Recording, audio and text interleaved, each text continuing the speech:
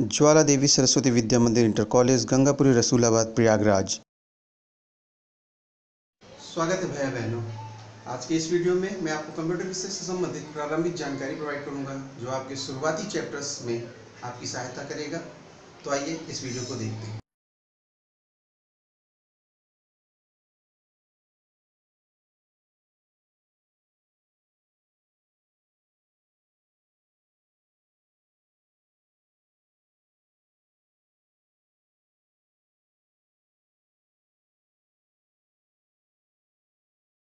Storage devices वो devices होती हैं जिसमें हम अपने डेटा या प्रोग्राम को स्टोर करके रखते हैं, जिससे कि फ्यूचर में हमें कभी उस डेटा की ज़रूरत पड़े तो हम उसका यूज़ कर सकें। और स्टोरेज डिवाइसेस को हम सेकेंडरी स्टोरेज भी बोलते हैं, क्योंकि इसमें जो डेटा होता है वो कंप्यूटर की मेमोरी में पहले स्टोर होता है, उसके बाद इसमें स्टोर होता है। Floppy disk hard disk magnetic tape वगैरह स्टोरेज डिवाइसेस के एग्जांपल्स होते हैं। ठीक है तो हार्ड डिस्क ड्राइव के बारे में सबसे पहले हम जान लेते हैं। हार्ड डिस्क ड्राइव जो होती है, वो डेटा को स्टोर करने का काम करती है। हार्ड डिस्क ड्राइव को हम नॉर्मली हार्ड ड्राइव या फिक्स फिक्स ड्राइव भी बोलते हैं। और ये जो हार्ड डिस्क ड्राइव होती है, ये ऑलरेडी कंप्यूटर के अंदर इंसर्ट होती है, ठीक है, इंजेक्ट होती है। और इसकी वर्किंग कैसी होती है? ये जो होता है कि एक प्लेटर्स कराने वाली एक घूम, घूमती हुई एक डिस्क होती है, जिसमें ये डेटा को मैग्नेटिक टाइप से स्टोर कर दी जाती है। और इसकी जो फ़ाइल एक्सेस करने की स्पीड होती है, वो फ्लॉपी डिस्क की मुकाबले 20 गुना ज़्यादा तेज़ होती है। और पर्सनल कंप्यूटर की जो हार्ड डिस्क होती है, वो चार जी से लेकर के एक सौ अस्सी जी या उससे ज़्यादा भी हो सकती है। ये मैटर नहीं करता कि कितनी भी हो सकती है उसकी हार्ड डिस्क ड्राइव। पाँच सौ जी बी हज़ार जी बी यानी वन टी बी या टू टी बी वगैरह भी हो सकती है। और हार्ड डिस्क ड्राइव आपकी कुछ इस तरह से दिखती है ठीक है? तो अभी हमने हार्ड डिस्क ड्राइव के बारे में जान लिया। अभी हम जान लेते हैं कि मैग्नेटिक टेप क्या होता है। मैग्नेटिक टेप भी हो, होता है वो एक डेटा स्टोर करने का एक डिवाइस है। इसमें क्या होता है एक हाफ़ इंच की एक प्लास्टिक की बिना जोड़ वाली पट्टी होती है जिस पर फेरे मैग्नेटिक पदार्थ की एक परत चढ़ाई जाती है। और इस पट्टी को हम टेप बोलते हैं ठीक है? टेप बोलते हैं हम इस पट्टी को, ठीक है? और टेप की जो लंबाई होती है वो 400 फीट 800 फीट 1200 फीट या 2400 फीट हो सकती है। टेप पर जो डेटा होता है वो मैग्नेटाइज या नॉन मैग्नेटाइज पॉइंट्स के रूप में राइट किया जाता है। और एक वर्ड को राइट करने के लिए सात बिट या नौ बिट का कोड यूज़ करते हैं। तो मैग्नेटाइज या नॉन मैग्नेटाइज पॉइंट जो होते हैं वो लाइन्स टेप की लंबाई के पैरेलल बन जाती हैं। और इन्हीं लाइंस को हम ट्रैक्स बोलते हैं। मैग्नेटिक टेप आपका कुछ इस तरह से दिखाई देता है। ठीक है? तो अभी हम आगे चलते हैं और जान लेते हैं फ्लॉपी डिस्क क्या होती है। फ्लॉपी डिस्क को हम नॉर्मली फ्लॉपीज़ या डिस्कटीज़ बोलते हैं, ठीक है? और इनका यूज़ जो होता है, वो सॉफ्टवेयर या डेटा को ट्रांसफ़र करने के लिए ही होता है। और इनकी कैपेसिटी जो होती है बहुत ही कम होती है, इसलिए इनको छोटा बैकअप क्रिएट करने के लिए ही यूज़ किया जाता है। इसको जो है वो फ्लॉपी डिस्क ड्राइव से रीड और राइट किया जा सकता है। अभी हम जान लेंगे कि फ्लॉपी डिस्क ड्राइव क्या होती है। और जो फ्लॉपी डिस्क का साइज़ होता है वो 5.25 या 3.5 इंच में अवेलेबल होता है। आपकी स्क्रीन पर फ्लॉपी डिस्क शो हो रही होंगी। तो अभी हम जान लेते हैं कि फ्लॉपी डिस्क ड्राइव क्या होती हैं। जैसा कि अभी बताया कि फ्लॉपी डिस्क ड्राइव से फ्लॉपी डिस्क के डेटा को रीड और राइट किया जाता है। ये आजकल इतनी ज़्यादा यूज़फुल नहीं है, लेकिन जब भी हम डेटा को शेयर करते हैं तो ये ज़्यादा ही यूज़फुल मानी जाती हैं। और सभी जो फ्लॉपी डिस्क ड्राइव होती हैं, उनके आगे एक एलईडी लगी होती है, जिसमें जैसे ही हम फ्लॉपी डिस्क एंटर करते हैं एक्सेस करते हैं तो ये एलईडी जल जाती है। फ्लॉपी डिस्क ड्राइव कुछ आपकी इस तरह से दिखती है, आपकी स्क्रीन पर शो हो रही होगी, ठीक है? तो अभी हम जान लेते हैं कि फ्लैश मेमोरी क्या होती है।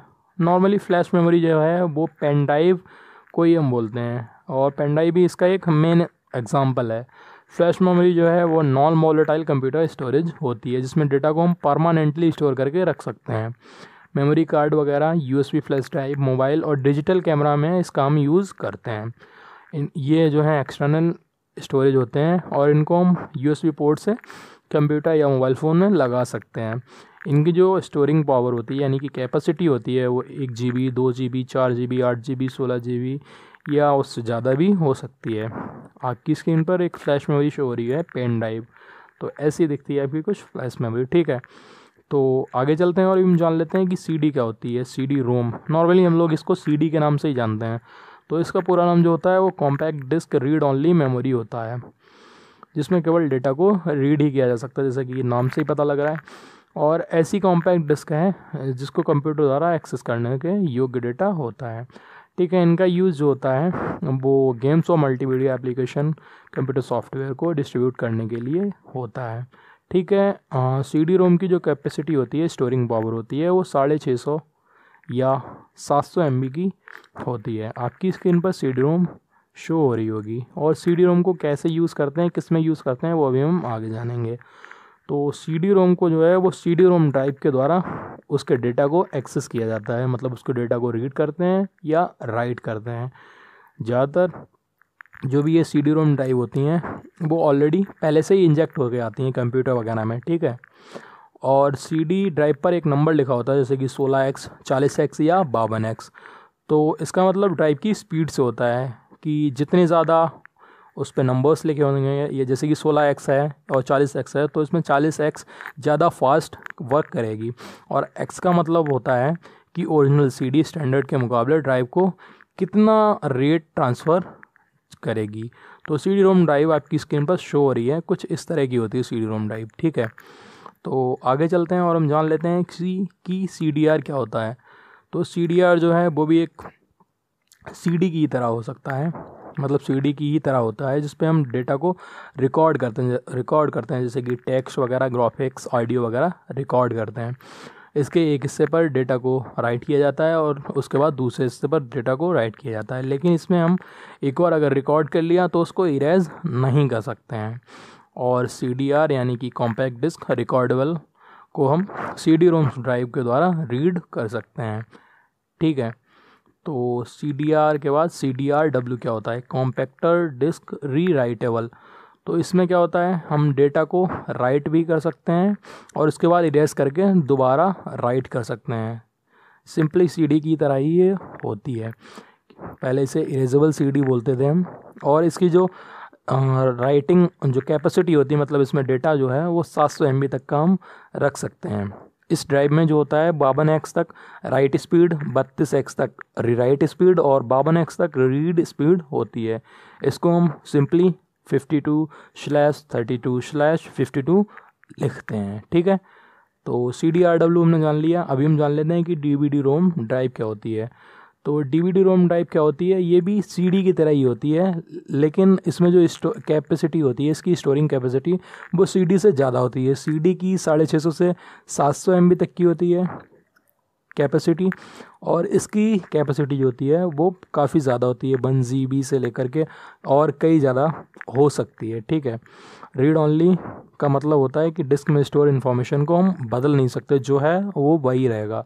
और इनका साइज़ जैसा कि बताया रोम डिस्क की तरह ही होता है, लेकिन इसमें बहुत ही ज़्यादा इन्फॉर्मेशन स्टोर हो सकती है।